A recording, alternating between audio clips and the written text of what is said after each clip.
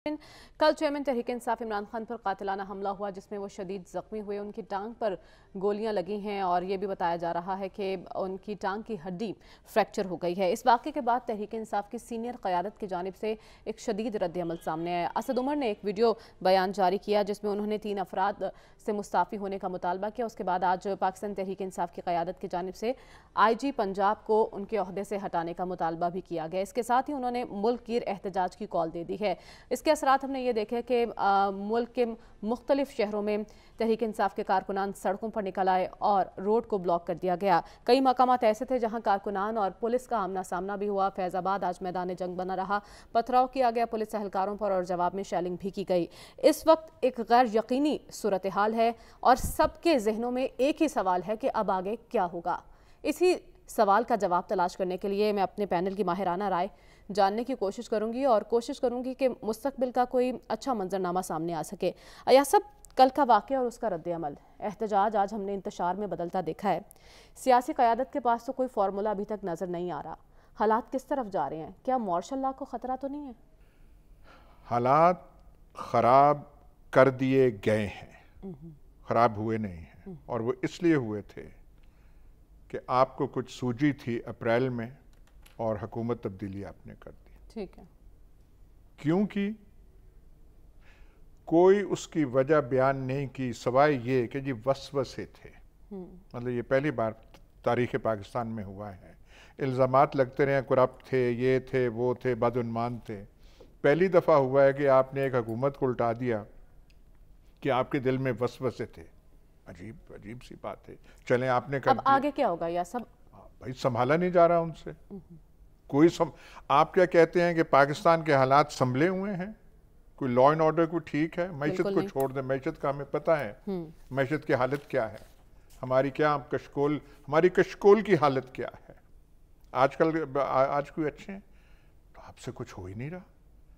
आप जो आगे का करना है वाहिद हल।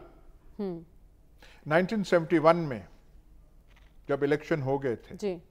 वाहिद हल था कि आप कौमी असम्बली का इजलास बुलाएँ। तो आइन के तहत था इलेक्शन हुए थे। मार्च थर्ड को ढाका में असेंबली कॉल होनी थी। नहीं बुलाया गया। ठीक। उसके बाद क्या हुआ? वो हमारे सामने है तारीख का हिस्सा है। जब आपने खलवाड़ कर दिया सब कुछ कर दिया एक ही चीज़ है हम्म। कि अवाम की ताइद के साथ हम्म।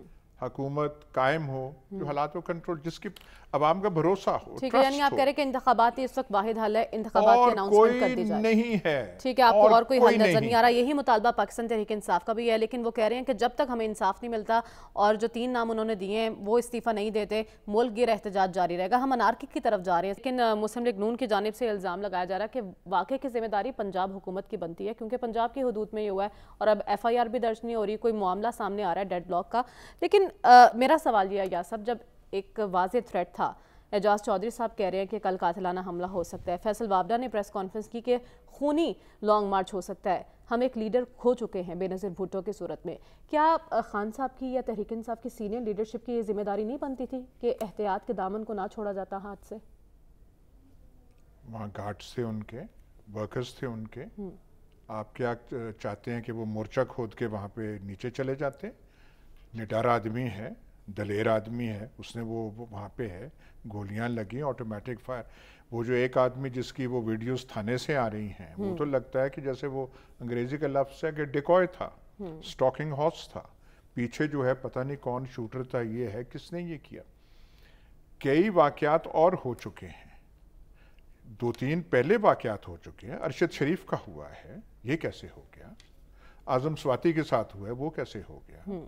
शबाज गिल का हुआ है वो कैसे हो गया वो आइन के तहत हुआ था आइन की कौन सी शिक के तहत हुआ था ये सारे जो जो चीज़ें एक वाक्य अब ये अजीब सी मंतक आ रही है कि ज़िम्मेदारी किसकी बनती है हम्म। और भाई ये है एक है लोगों की शक कहाँ जा रहा है जी। ये आप देखें अरशद शरीफ के बारे में हम्म। लोगों का शक कहाँ जा रहा था रिएक्शन आज मुल्क में क्या हो गया है? कोई कॉल दी थी कोई इन्होंने जत्थे तैयार किए थे? स्पॉन्टेनियस हुआ है। हम्म। आज आपको पता है कि कौन से नारे लग रहे हैं? वो हम्म। ऐसे नारे जो मैं यहाँ बयान नहीं कर सकता। लेकिन तहकीकात आपको लगता है मंतक अंजाम तक पहुँच पाएँगे? भाई कौन सी पहुंचेगी? एक बात है ये जो कह रहे हैं कि स्टेट स्टेट तब करता है जब कोई एफआईआर दर्ज कराने वाला ना हो। जब आपका कोई आदमी ना हो और फिर आप वो कहते हैं कि वो थानेदार एसएचओ वो कर लेता है। एफआईआर का मतलब है फ़र्स्ट इंफॉर्मेशन रिपोर्ट अगर मैं दूँ मैं जो मर्ज़ी उसमें लिखूं मेरे दानिस्त में मैं कह दूँ कि ये है ऐसे जो पुलिस स्टेशन मुतलका है एसएचओ मुतलका तहकीक करता है और कहता है कि इसमें बुनियाद है या नहीं है। जुल्फिकार अली भुट्टो का नाम आ सकता है एफआईआर में। ठीक। बड़े बड़ों का नाम जो है एफआईआर में आ सकता है। तो यहाँ पे हिचकिचाहट कैसी? ठीक है। बात यह है कि जिन चीज़ों को मुतनाज़ हमारी कौमी ज़िंदगी में नहीं होना चाहिए था और जिनका मुतनाज़ा होना कौम की ज़िंदगी के लिए खतरा बन जाता है वो मुतनाज़े क्यों बन क्यों बन गई? कौन जिम्मेदार है वाई हैव दे बिकम ठीक। अ सब्जेक्ट ऑफ़ कंट्रोवर्सी क्योंकि अप्रैल का जो इकदाम था उस पे शक की निगाह। उठी थी। ठीक है यानी आप करें उंगलियाँ जो हैं अप्रैल का एकदम है अप्रैल का और आपसे संभाला नहीं गई ऐसे वैक्यूम में नहीं हो गया। लेकिन हम देख रहे हैं सलमान साहब पोलराइजेशन बहुत बढ़ती जा रही है। नफ़रतें बढ़ती जा रही है माशरे में तकसीम वाज है। ऐसे में हुकूमत वक्त की ज़िम्मेदारी बनती है कि गैर जिम्मेदाराना बयान से गुरेज किया जाए। अगर आज इल्ज़ाम लगाया जा रहा है वज़ी अजम पर वज़ी दाखिला पर तो वो उन बयान का नतीजा है जो दिए जा रहे थे हुकूमत की जानब से कि फितने का सर कुचलना है। इस पर मैं आपसे बात करूँगी, लेकिन इस ब्रेक के बाद स्टे विद